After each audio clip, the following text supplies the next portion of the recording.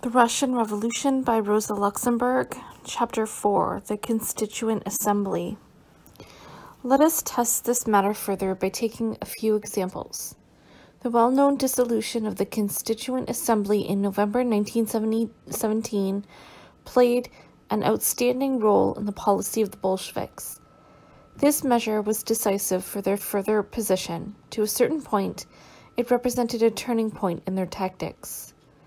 It is a fact that Lenin and his comrades were stormily demanding the calling of a constituent assembly up to the time of their October victory, and that the policy of dragging out this matter on the part of the Kerensky government constituted an article in the indictment of that government by the Bolsheviks and was the basis of some of their most violent attacks upon it. Indeed, Trotsky says in his interesting pamphlet from October uh, from October to Brest Litova, Lit, Litovsk that the October Revolution represented the salvation of the Constituent Assembly as well as the, of the revolution as a whole. And when we said, he continues, that the entrance to the Constituent Assembly could not be reached through the preliminary parliament of Tseretelli, but only through the seizure of power by the Soviets, we were entirely right. And then after these declarations, Lenin's first step after the October Re Revolution was the dissolution of this, this same Constituent Assembly, to which it was supposed to be an entrance. What reasons could be decisive for so astonishing a turn?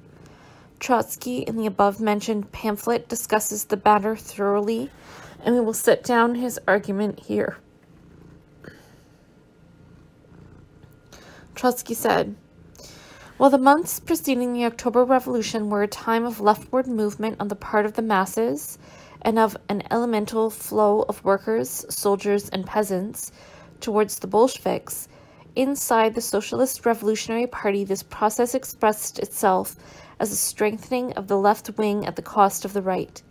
But within the list of party candidates of the Socialist Revolutionaries, the old names of the right wing still occupied three fourths of the places. Then there was the further circumstance that the elections themselves took place in the course of the first weeks after the October Revolution.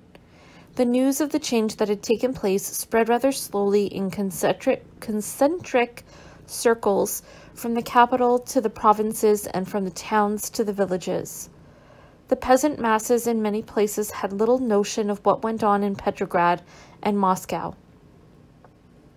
They voted for land and freedom and elected as the representatives um, in the land committees those who stood under the banner of the Narodniki. Thereby, however, they voted for Kerensky and Avksentiev, who had been dissolving these land committees and having their members arrested. This state of affairs gives a clear idea of the extent to which the Constituent Assembly had lagged behind the development of the political struggle and the development of party groupings. All of this is very fine and quite convincing, but one cannot help wondering how such clever people as Lenin and Trotsky failed to arrive at the conclusion which follows immediately from the above facts.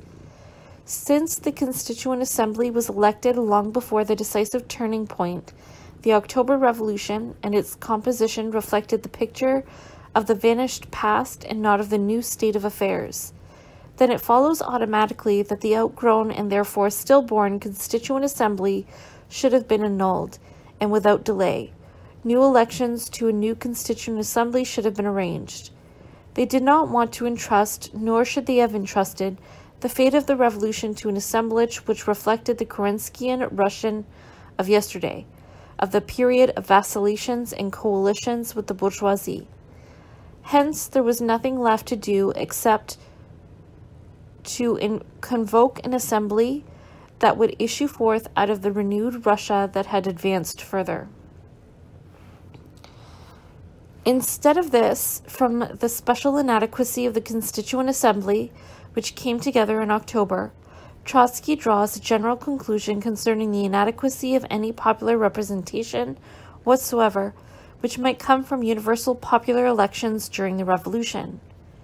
Thanks to the open and direct struggle for governmental power, he writes, the laboring masses acquire in the shortest time an accumulation of political experience, and they climb rapidly from step to step in their political development. The bigger the country and the more rudimentary its technical apparatus, the less is the cumbersome mechanism of democratic institutions able to keep pace with this development. Here we find the mechanism of democratic institutions, as such called in question. To this we must at once object that in such an estimate of representative institutions, there lies a somewhat rigid and schematic conception which is expressly contradicted by the historical experience of every revolutionary epoch. According to Trotsky's theory, every elected assembly reflects once and for all the only only the mental composition, political maturity, and mood of its electorate just at the moment when the latter goes to the polling place. According to that, a democratic body is the reflection of the masses at the end of the electoral period, much as the heavens of Herschel always show as the heavenly bodies, not as they are when we are looking at them, but as they were at the moment they sent out their light messages to the earth from the measureless distances of space. Any living mental connection between the representatives, once they have been elected, and the electorate, any permanent interaction between one and the other is hereby denied. Yet, how all historical experience contradicts this? Experience demonstrates quite the contrary namely, that the living fluid of the popular mood continuously flows around the living fluid of the popular mood continuously flows around the representative bodies. What the fuck? Penetrates them, guides them. How else would it be possible to witness, as we do at times in every bourgeois parliament, the amusing capers of the people's representatives, who are suddenly inspired by a new spirit and give forth quite unexpected sounds? or to find the most dried out mummies at times com- comforting themselves like youngsters, and the most diverse little Scheidemännchen suddenly finding revolutionary tones in their breasts whenever there is rumbling in factories and workshops on the street.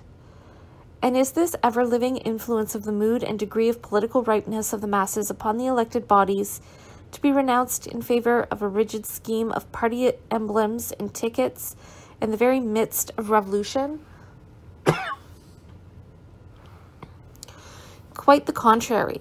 It is precisely the revolution which creates by its glowing heat the delicate, vibrant, sensitive political atmosphere in which the waves of popular feeling, the pulse of popular life, work for a moment on the representative bodies in most wonderful fashion. It is on this very fact, to be sure, that the well known moving scenes depend, which invariably present themselves in the first stages of every revolution. Scenes in which old reactionaries or extreme moderates, who have issued out of a parliamentary election by limited suffrage under the old regime, suddenly become the heroic, stormy spokesman of the uprising. The classic example is provided by the famous Long Parliament in England, which was elected and assembled 16, in 1642 and remained at its post for seven whole years and reflected in its internal life all alterations and displacements of popular feeling, of political ripeness, of class differentiation, of the progress of the revolution to its highest point, from the initial devout skirmishes with the crown under a speaker who remains on his knees, to the abolition of the House of Lords, the execution of Charles, and the proclamation of the Republic.